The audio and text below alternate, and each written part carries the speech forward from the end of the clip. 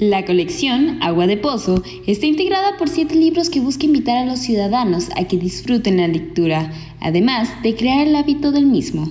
Algunos de ellos eh, académicos eh, y trabajadores de la Universidad de Guadalajara han volcado su talento, eh, su esfuerzo para que los lectores que acuden a los espacios bibliotecarios que promueve la Universidad de Guadalajara y que en este momento son 214 en todo el estado, puedan disfrutar de estas anécdotas, de estos relatos y de esta literatura y poesía, de estos ensayos que están plasmados en estas colecciones. Esta colección fue elaborada por Carmen Villoro, poeta, Angélica Peregrina, historiadora del Colegio de Jalisco, Yolanda Zamora, escritora y comunicadora, Godofredo Olivares, escritor, Ricardo Sigala, académico y poeta, los cuales tuvieron la tarea de conmemorar a referentes culturales como José Rosas Moreno, Juan Rulfo, Ernesto Flores, entre otros.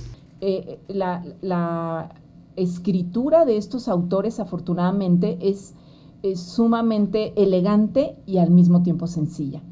Entonces, es una, son textos muy accesibles, además de, la belleza de, la obra, que, es, muy compacta, es de bolsillo, y miren, tienen las ilustraciones de un artista plástico jalisciense eh, muy, muy reconocido, que es Paco de la Peña.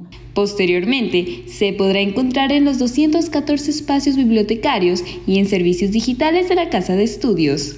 Esta colección es la número 10 del programa Letras para Volar, el cual ya cuenta con 142 títulos y casi 840 mil ejemplares impresos. Informó para Noti 13 Keren Santillán.